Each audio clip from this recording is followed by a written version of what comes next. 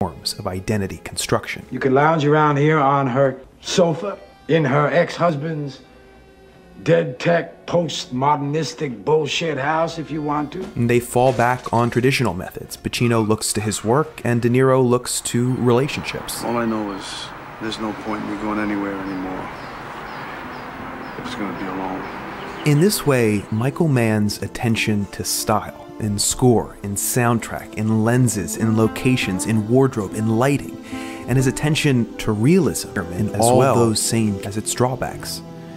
And that's what film noir was always meant to do at its best show the underside of culture and why it's a necessary extension of the reverse.